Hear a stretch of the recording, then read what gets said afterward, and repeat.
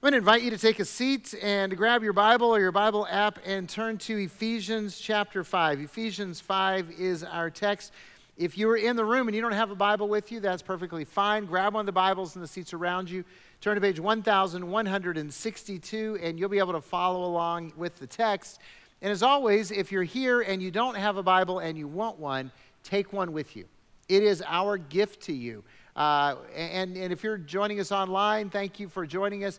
And if you don't have a Bible and you want one, message the online host, email the church office, give us a call. We'll get a Bible to you, whether we mail it to you or hand deliver it to you, because we want everyone to have the Word of God and read the Word of God, because we know if you read and apply God's Word, God will change your life.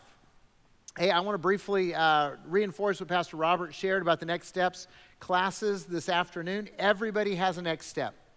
Uh, and if you're following Jesus, then, then you're called to take that next step in following him. We want to help you do that. So if, you, if you're new to Calvary, you've never taken any of our classes, show up today and take intro, 6 o'clock in this room.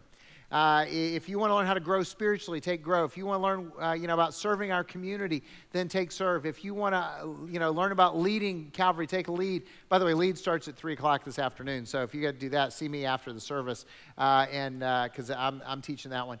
But uh, we want you to take that next step. And, and for those of you that are like, well, I haven't really ever committed to following Jesus, we want you to take that next step too. Uh, and, and today, uh, even though we're talking about marriage and, and, and relationships, we want you to have that life changing relationship with Jesus Christ because there's nothing else as important as that. And we, in fact, we'd love for you today to make that decision to follow Jesus and next week get baptized at the lake because that would be kind of a cool one-two punch to, you know, to this world. So um, uh, that's just my encouragement to you to take that next step. We are continuing our marriage series. And, uh, and, and, and by the way, if you're not married, it's still for you. I know some of you, I had some comments last week uh, from some of the widows saying this was really hard, from some people saying it's not for me. And the truth is, if you're married, it's for you. If you're in a relationship, it's for you. If you are thinking that one day you would like to get married, it's for you. If, uh, if that's in the realm of the possibility, then what we're talking about relationships applies to you. But if you're at that point where you're like, hey, I'm too old and I'm alone and I'm not going to go down that road again, it's still for you. Everything we teach has to do about relationships, and, and relationships applies whether it's marriage, friendships, family, work, uh, those principles still apply. And, and they will help change your relational dynamic. Uh, and the other thing is, if you think you're old and beyond the uh, ever getting married again stage, you know people who are married or who are thinking about getting married. And hopefully, when you have an opportunity to speak into their life, you'll speak God's wisdom into their life because you'll understand it and you'll be a source of hope and encouragement and not somebody who's like, yeah, I wouldn't do that if I were you. Uh, so we are in a marriage series, uh, and uh, last week, Pastor Joe showed up to kick off our marriage series. If you weren't here, uh, he did a great job talking about to love and to cherish. You should watch the video, but if you missed it, he was wearing a tuxedo. And as I watched him come out in a tuxedo, I was like, I can't compete with that. I can't compete with Joe's sartorial splendor, so I will just mock it. Uh, and that's what I did. So this is as classy as I get. Uh, and uh, and some, some people ask me, go, where'd you get that? And I go, have you not heard of Amazon? Uh, so anyway, hey, I first met my wife Merelda in the spring of 1977.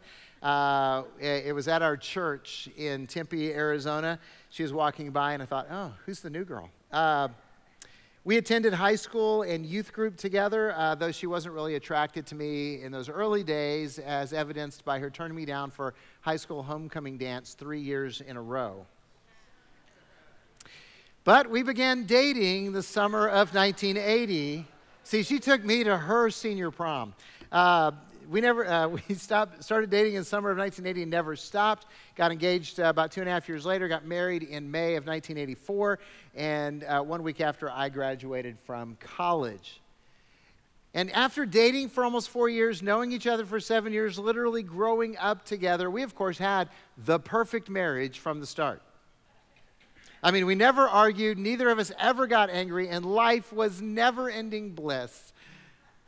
And then we woke up the second day of our marriage. Uh,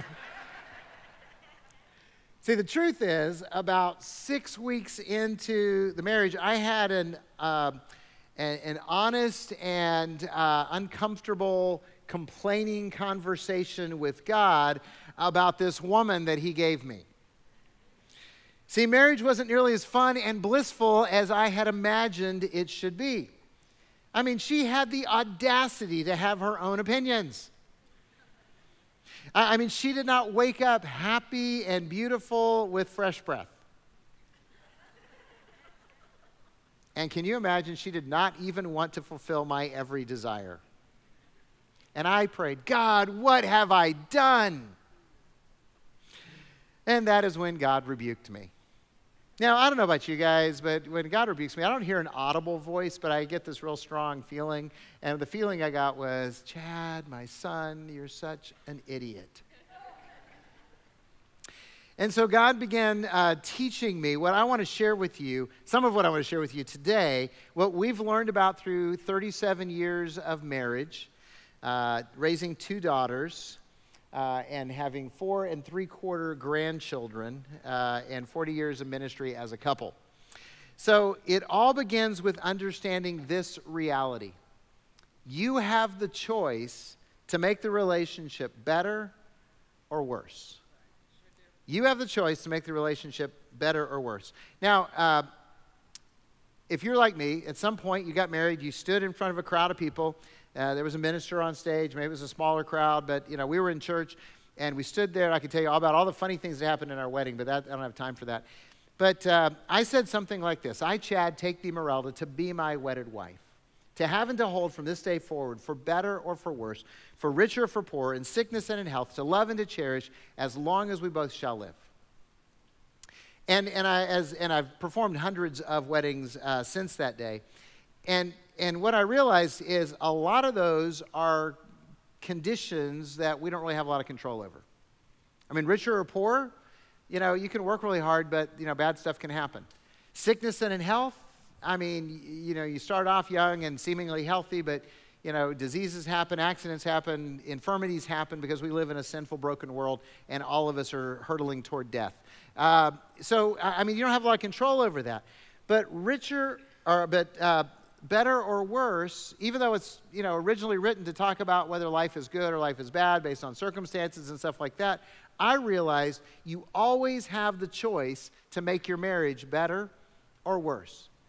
You always have the decision, the choice to make your relationships better or worse.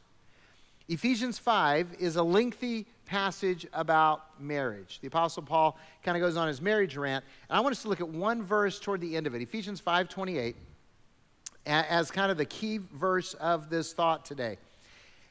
Paul says, In the same way, husbands should love their wives as their own bodies. He who loves his wife loves himself. He who loves his wife loves himself. Paul, once again, is leaning into the biblical principle of reciprocity. Now, if you aren't familiar with the biblical principle of reciprocity, it means that you reap what you sow. Okay, you reap what you sow. And, if you read the New Testament at all, you're going to find that that principle is woven into the teachings of Jesus and Paul and Peter. If you read the Old Testament, you're going to find it there because uh, it, it's built into the fabric of this world that we live in. It's built into the fabric of the universe. You are going to reap what you sow. And this is especially powerfully true in your marriage and in your relationships. You're going to get back what you put into it. So the husband who loves his wife will receive love. The wife who loves her husband is going to receive love. The husband who blesses his wife is going to get blessed. The wife who blesses her husband will be blessed. Now, of course, because we are in a sinful world, and this is a principle, there are exceptions. So people uh, can break their uh, marriage vows, they can break their promises, they can betray, they can abuse, they can abandon. That's, that's possible. But you can't control what somebody else does, but you have a choice to make for you. See, a lot of times we look at the other person in the relationship and think that it's all about them. That's what I was doing when I cried out to God, What have I done? I was looking at everything that Merelda was doing, and I wasn't happy with that, and I thought it was her fault, and she needed to change. And God said, No, you're the idiot. You need to change. You need to make it better, not worse. You have that power to do your part. So, Let me ask you a question Do you want to be loved? There's like eight people in this room that want to be loved. Wow, what the rest of you want? I'm curious. No, no, seriously, do you want to be loved? Yeah, do you want to be blessed? So, do you want your relationships to be better or worse?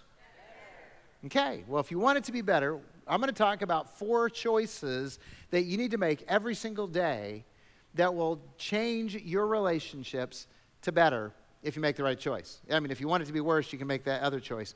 But, uh, but these are choices that you and I need to make if we're going to have a marriage that is better rather than worse. The first choice is to serve or be selfish. You have to make the choice to serve or be selfish. In other words, is your energy going to be spent on yourself or on your spouse? Because remember, whoever loves his wife loves himself. And, and this is tough because all of us are selfish people. And if that offends you, I, am sorry. But the scripture says that there's none righteous, not even one, that all of us have sinned and come short of the glory of God. And the very root of sin is selfishness. We act for our own benefit, we act for what we want. I want what I want, and I want it when I want it. And, and that's how selfishness is manifest. And so we have to intentionally decide to act against our natural born selfish instincts. And, and the way that we do that, it means that we choose to serve. It, it means that we choose to serve our spouse. And if you serve your spouse, you are serving your own interests. Let me say that again. If you decide that you're going to serve your spouse, you're going to be serving your own interests. Because if you are selfish, you sabotage your marriage. If you choose to be selfish, then you are sabotaging your relationship. You see, when we act selfishly, we start thinking in a win lose mindset. By the way, most of us naturally think in a win lose mindset because that's what selfishness leads us to. So we want what we want, so we want to get it. So if I win the argument, my spouse loses the argument. That's not really how it happens in our house. I think I've won three times in like 37 years, and I know because I keep track because I'm wrong all the time. Uh, but you know, we, when, when I win an argument, then my spouse loses. If I get what I want, then my spouse is denied what she wants. If we spend money on the thing that I desire, then she doesn't get to spend it on what she desires. You, you see how that works? If there is a win lose scenario in your relationship, if you win and your spouse loses, then the marriage loses. Okay? If you win and your spouse loses, I don't care what the context is, then the marriage loses. The man who loves his wife loves himself. Why? Why, why is this true? Because of reciprocity you know, Paul said the man who loves his wife loves himself. Think about it the opposite. The man who hurts his wife hurts himself. The wife who dishonors her husband dishonors herself. The man who betrays his wife betrays himself. See, we need to think differently than what the world teaches us. We need to think about a win win marriage. In other words, when you think about your relationships, you need to think, how can we both win? It needs to be a win win because we're in this together, and I can't win unless she wins, and she can't win unless I win. So we need to have a different way of thinking about that. And the way to get to a win win is when both husband and wife choose to serve instead of being selfish. Let me say it again. The way you get to a win win is when both parties decide they're going to serve the other person. Now, you can't choose for the other party, but you can choose for you. And it's kind of risky because we all want to, you know, take care of ourselves, but that's not in the best interest of ourselves. So, guys, I'm just going to challenge you. God kind of calls you the leader of the family. If you're in a relationship, you start this ball rolling. You decide you're going to break the mold and you're going to start serving your spouse first. Change that dynamic because if you want your relationship to be better, you have to choose to serve. Second choice for a better marriage you're either going to listen or you're going to ignore. Are you going to listen or are you going to ignore? Uh, Jesus said, He who has ears to hear, let him hear. Isn't that an interesting statement? He who has ears to hear, let him hear. And when he was talking about parables, he said, uh, to fulfill the prophecy of Isaiah, you will indeed hear, but never understand, and you will indeed see, but never perceive. Now, I remember the first time I read those, and I was like, okay, you hear, but you don't understand. You see, and you don't perceive, I don't really how that, understand how that plays out. by the way, when Jesus said that, he was not referencing marriage at all. But boy, doesn't that sound like it applies? Am I the only one who hears and doesn't understand, who sees and doesn't perceive? Am I the only one who goes to the pantry completely clueless? Am I the only one who's thankful that now we can call from the grocery store so we don't have to buy the wrong thing and take it back? See, uh, you know, look, I, I, just think that passage is not just for husbands, but it really does apply to us. We, we hear and never understand, we see and never perceive. Uh, listen, do you remember in the early days of your relationship when you hung on every word that the other person spoke? Do you, do you remember those days when you, you just wanted to hear their voice and listen to their stories and, and hear all their thoughts and their dreams? And you, okay, do you remember being the dorks when you were on the phone saying, you know, talking at the conversation? And it's like, you hang up first. No, you hang up first. No, you say goodbye. You know, that's just like a certain generation because now you guys don't talk, you text. But, um, but some of us did that, and it was like so stupid because we didn't want to say goodbye. We wanted to keep talking about nothing. Now I can literally stand three feet from Merelda and talk to her, and she can be immune to my voice. and she can have a whole conversation with me, and I can hear her talking and not understand a single word that she said until she asked, Did you hear what I was saying? The answer is no, I didn't. I didn't realize you were talking to me. I knew you were talking, I just didn't know it was for me. You see, we choose to ignore, and then we get angry and upset that our spouse didn't hear what we said. See, we want to be heard, but we don't want to listen. It doesn't work that way. If you want your marriage to thrive, then listen. Give them attention. Look, put down the phone or the tablet, turn off the TV or the PlayStation, and give your spouse attention. Listen to them. James uh, chapter 1, the apostle says, All of us should hear this and do this. Be quick to listen, slow to speak, and slow to anger. Okay, it's James 1:19. A lot of us need to memorize this. Be quick to listen, slow to speak, slow to anger. Most of us are slow to listen, quick to speak, and quick to anger, and wonder why our marriages are struggling. If you want your marriage to be better, you need to listen to your spouse. So choose to listen. Third choice to make your marriage better you can encourage or you can accuse.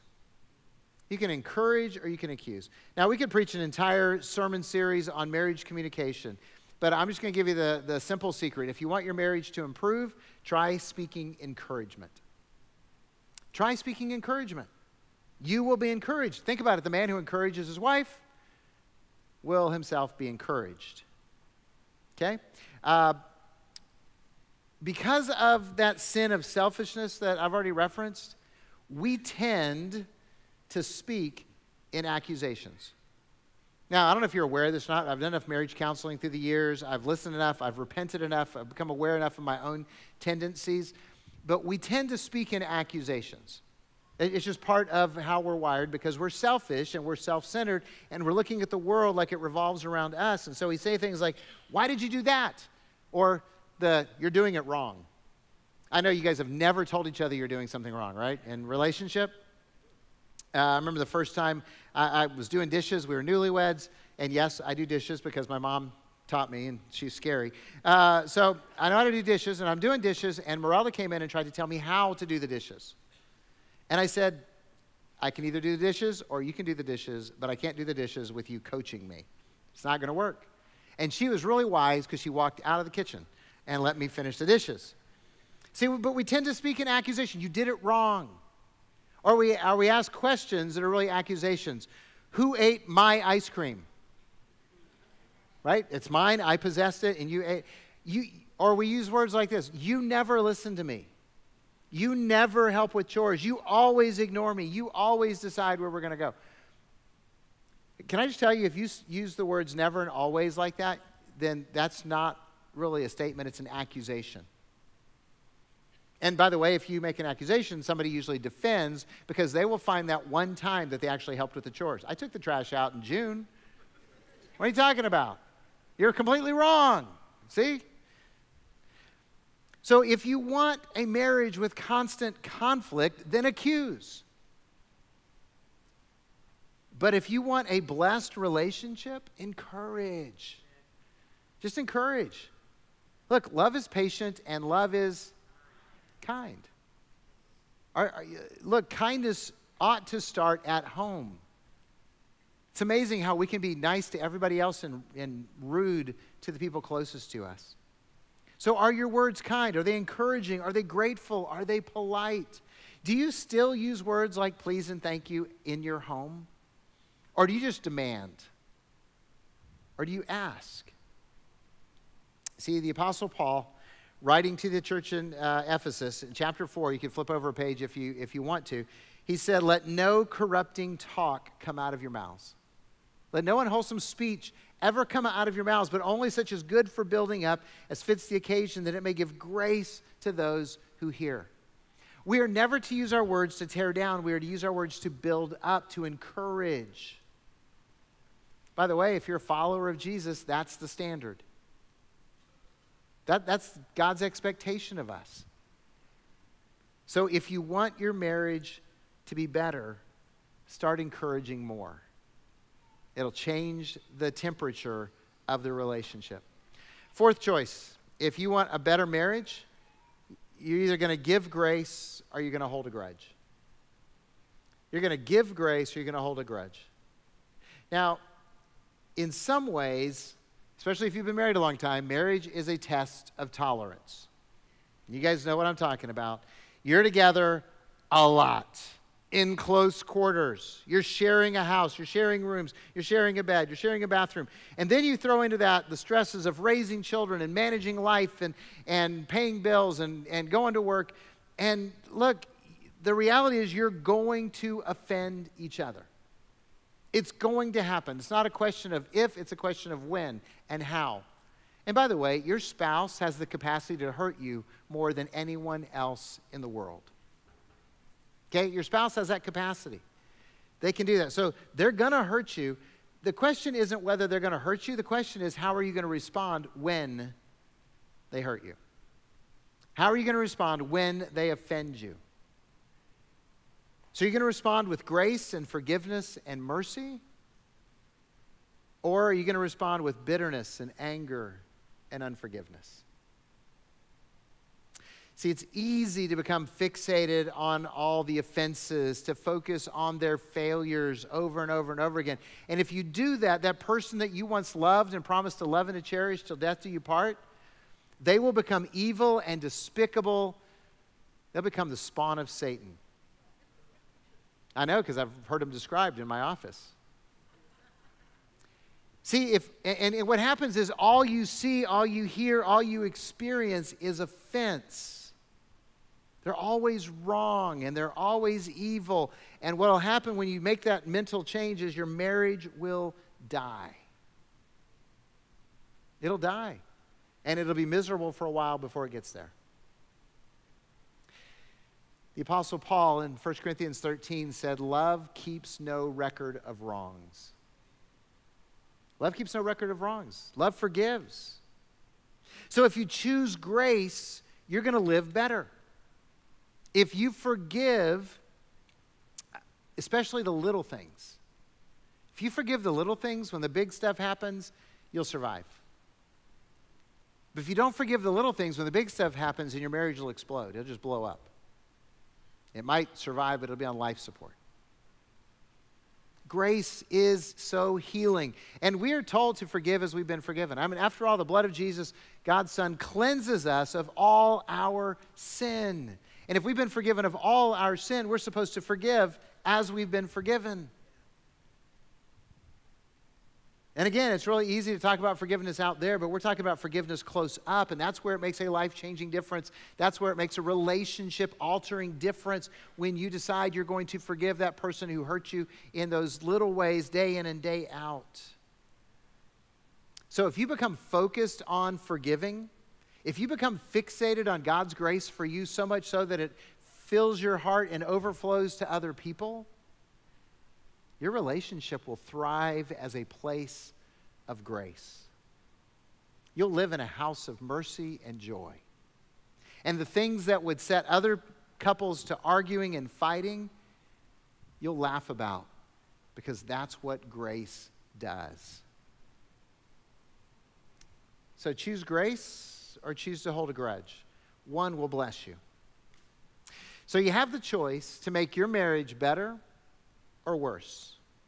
Like, I'm praying that you choose better. Actually, the entire staff at Calvary is praying that you choose better. We want to see your marriages thrive. It breaks our heart when we see marriages fail. When we see couples giving up, calling it quits, we know that God has the power to heal, and it, and it breaks our heart at that moment. So we want to see you thrive. So we're praying that you will choose better. We're praying that you will choose to serve, to listen, to encourage, and forgive. So, do you want your relationships to be better or worse? Less enthusiastic at this point. It's like, you know, after telling us what it's going to take, I think I'm just going to stick with mediocrity. You know, we're on a slow downhill crash right now. I think I can just ride that out. Do you want your relationship to be better or worse? Better. Okay, well, if you want it to be better, I got homework for you. Okay, I got assignments. Because here's the, here's the reality. You can listen to the sermon and go, that was a good sermon. Was really good. And you walk out the door and keep living exactly the way you've been living, and nothing will change in your relationship. You have to read and apply God's word for your life to be different, for your relationship to be different. So I've got, eh, look, this is for people who really honestly want their relationship to be better. I got three assignments that I want you to do in the next seven days. No, I'm not going to check your work. This is between you and God. But three assignments for the next seven days. This is easy. You can do this, okay? Number one, go on a date. Go on a date with your spouse. I, I, I originally said date night, but I realized some of you are too old to stay up that late. So, uh, just being honest, right? Nine o'clock's the new midnight.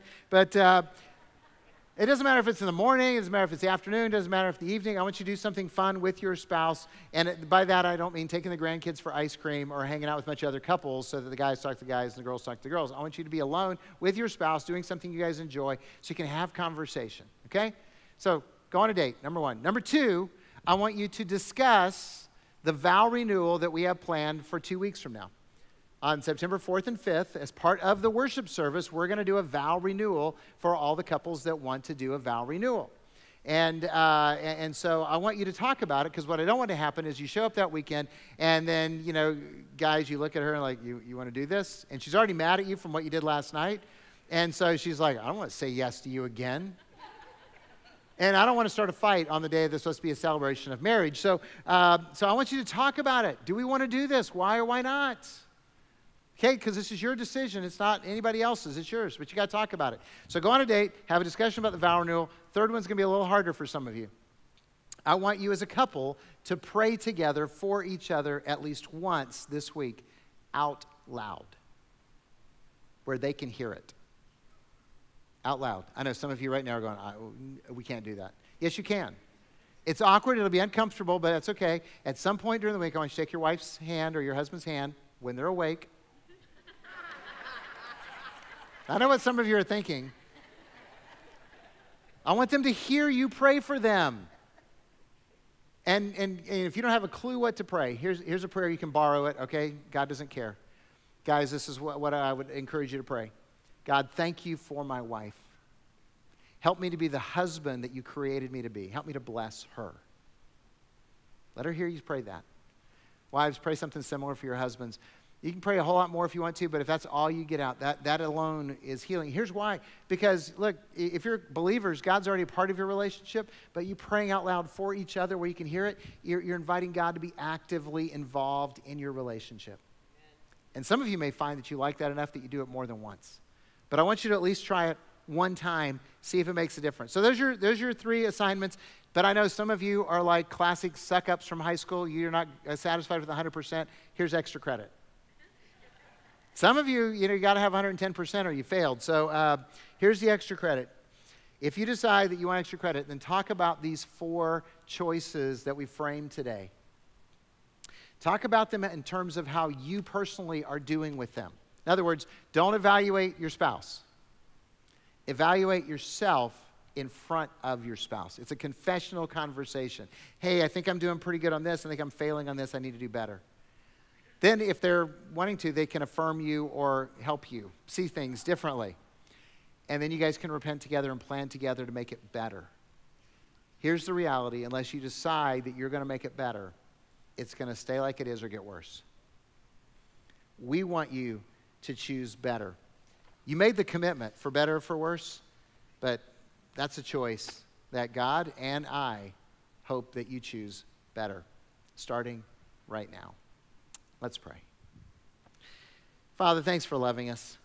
We don't deserve your love, but you continue to pour it out on us over and over and over again. And you've taught us how to love, and you've called us to love, and you've placed us in families and in relationships where we have an opportunity to love somebody to honor you.